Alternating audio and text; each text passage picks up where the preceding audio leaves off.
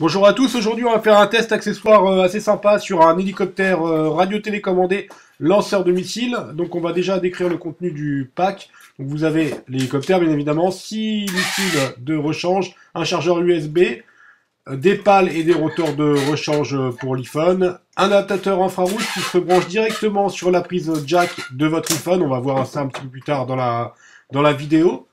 Ensuite, vous avez également d'inclus à l'intérieur du pack des petites cibles, euh, des targets euh, en carton. Voilà, c'est euh, assez sympa. Et voilà, on va déjà commencer pour voir comment il faut procéder pour installer l'application. Donc l'application s'appelle UDIRC. Elle est directement disponible sur l'App Store d'Apple. Donc vous, vous faites une recherche du DIRC et vous installez UDIRC Pro. Voilà. Une fois que vous avez installé euh, cette application, on est prêt à commencer le, à commencer le test.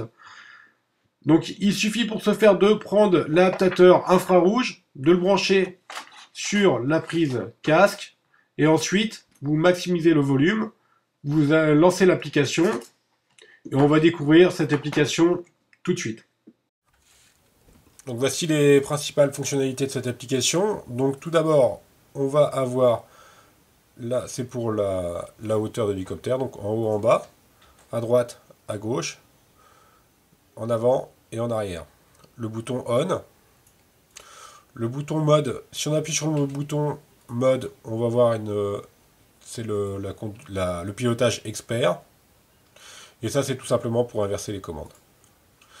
Et là c'est pour donc en haut à droite, la petite toupie, c'est pour conduire, pour piloter pardon l'iPhone en mode gyroscopique. Donc c'est-à-dire qu'on ne va pas utiliser cette partie-là de l'écran pour le faire aller en avant, en arrière, à droite, à gauche.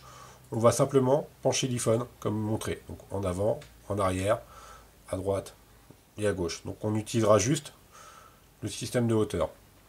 Et là, on a une petite sélection pour régler la trim. C'est-à-dire que si votre hélicoptère tourne un petit peu dans un sens, on va le corriger dans l'autre. Voilà. Ensuite, on a les trois différents canaux, A, B ou C. Et les lance-missiles, gauche et droite. Voilà pour le principal. Donc pour l'allumage, on va juste appuyer sur le bouton ON. On va vérifier que la diode de l'infrarouge est allumée. Et ensuite, on peut commencer à utiliser l'hélicoptère ça marche pas, vous sélectionnez un canal autre, donc A, B ou C, tout simplement. Voilà, on se retrouve pour un petit test.